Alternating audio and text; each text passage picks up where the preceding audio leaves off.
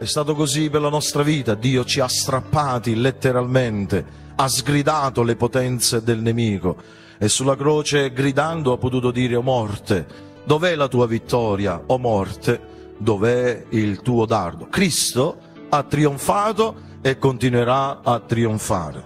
È per quel grido che noi ci troviamo qui stamattina a glorificare il suo nome ma il grido del Salvatore del mondo che ha gridato sopra la morte per salvare noi peccatori. E quel grido è riconoscibile dal diavolo, il suo grido potente, efficace ancora nella nostra generazione. Il grido del Signore Gesù apre ogni realtà e ogni strada.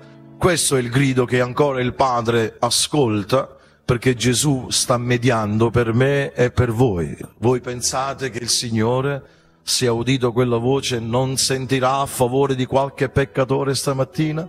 La voce di Gesù che dirà Padre perdona loro perché non sanno quel che si fanno? Signore, intercedi per noi in questa mattina.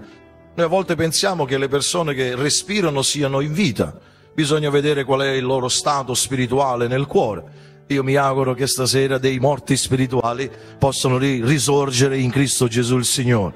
E quando la morte ode quella voce, non può trattenere i morti, li deve risorgere, perché Gesù è il risorto dei morti.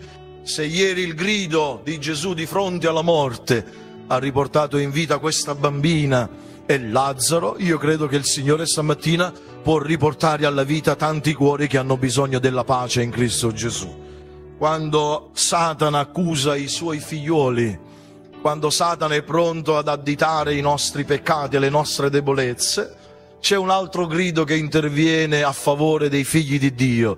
E nel libro di Zaccaria leggiamo, ti sgridi il Signore, Satana, ti sgridi il Signore, non è costui un tizzone scampato dal fuoco? Signore, intercedi per i tuoi figli stamattina e fa che se l'avversario vuole accusarci, la tua voce lo possa arretrare